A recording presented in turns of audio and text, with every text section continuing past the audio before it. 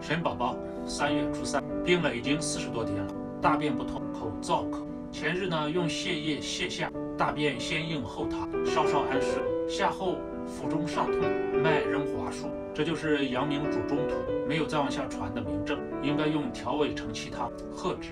调味承气汤，大承气汤和小承气汤为三承气汤啊，药性各异，分量不同，煎的方法也不一样。调味承气汤是阳明症、太阳症病症的合剂。所谓外治不解，因为里治不通，所以太阳头疼未除，但阳明发热不恶寒已经看到了。阳明也有头痛，只不过是在雀上，啊，就是印堂这个位置，而不是在太阳穴。阳明呢又发热，但它是蒸蒸的啊，头上热，而不是细细的浑身热。所以有大论曰：太阳病三日，发汗不解，蒸蒸发热者，属胃。调味承气汤主治。